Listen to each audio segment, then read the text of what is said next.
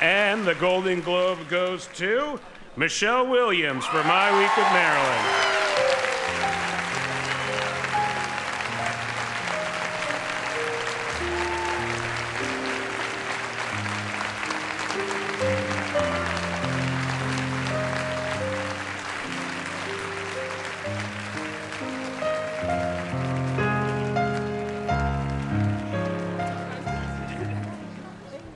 Congratulations. Hi. Been a while. Um, oh dear. Um,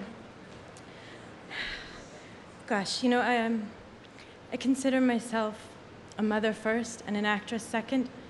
And so the person that I most want to thank is my daughter, my little girl, whose bravery and exuberance is the example that I take with me in my work and in my life. And I want to say thank you for sending me off to this job every day with a hug and a kiss. I couldn't have done it otherwise, and making me so excited to come home at night.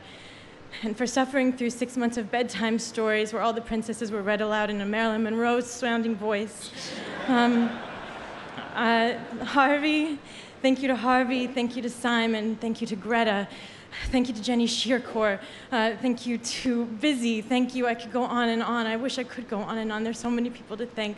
Thank you to the Hollywood Foreign Press Association for putting in my hands the same award that Marilyn Monroe herself won over 50 years ago. I'm honored. Thank you.